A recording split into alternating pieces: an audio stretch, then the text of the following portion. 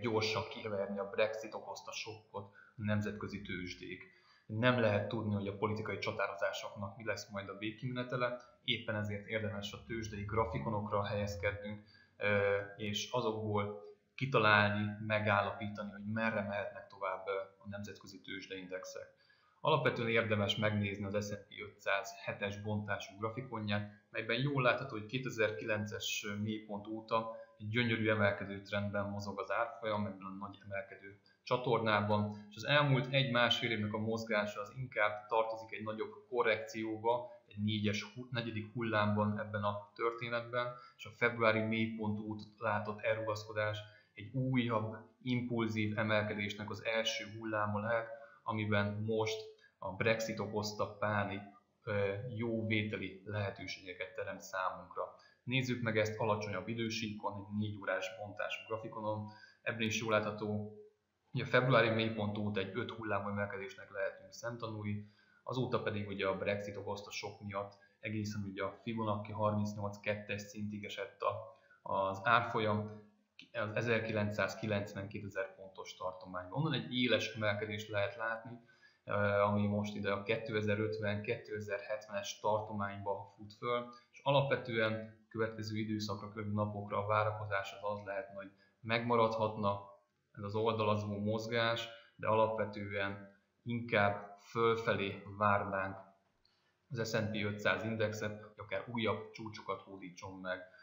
Igazából azzal sincsen gond, hogyha az 1990-es szint elesne, alapvetően ameddig az 1950-60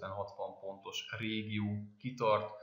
igazából optimistáknak lehet lennünk a nemzetközi tőzsdék árfolyam alakulásával kapcsolatosan, és a nyárra, őszre akár jóval magasabb árfolyamokat is lehetne várni.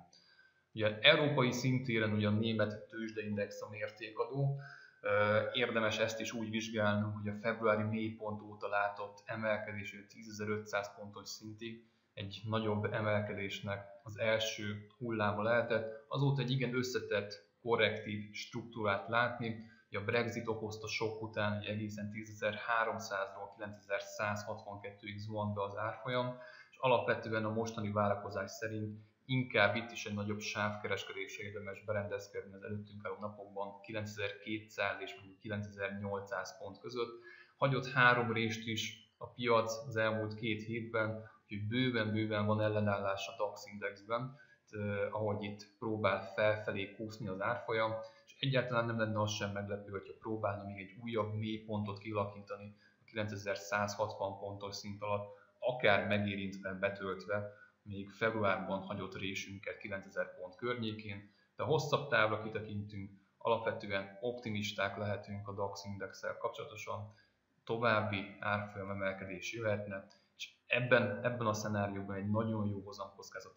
belépési pont adódhat az előttünk álló napokban. Úgyhogy aki részvénytípusú befektetésekben gondolkodik, azoknak a mostani nagyobb árfolyam esést érdemes esetleg kihasználni arra, hogy a zavarosban halászni, vásárolni a nemzetközi részvényekből, akár tőzsdeindexekből, hiszen a nyár, a kora ősz